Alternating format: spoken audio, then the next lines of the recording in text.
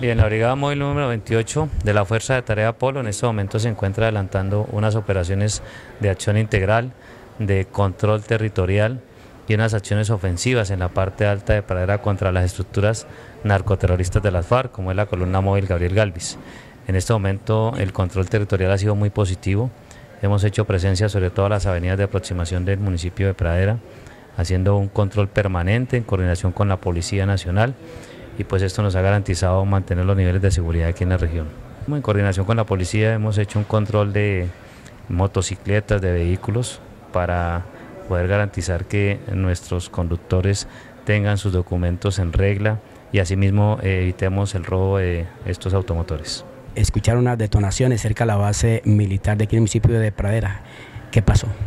Estas son unas eh, actividades militares adelantadas por nosotros que no ponen en riesgo en ningún momento a la población civil.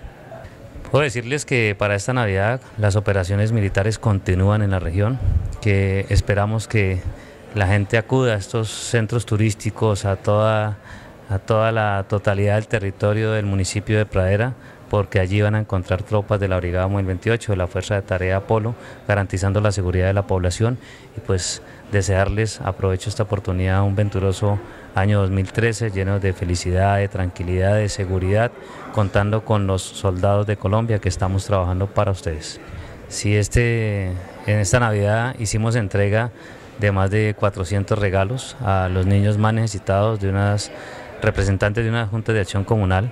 donde pudimos darle un obsequio que no tiene mucho valor económico, pero sí representa un gran corazón de parte del Ejército de Colombia a estos niños más necesitados. El pago para nosotros es esa sonrisa, esas gracias que nos dan nuestros niños y la felicidad de poderle colaborar a los papitos en darle un obsequio a esos niños que son la razón de ser de nosotros, el futuro de Colombia. Tenemos una compañía de acción integral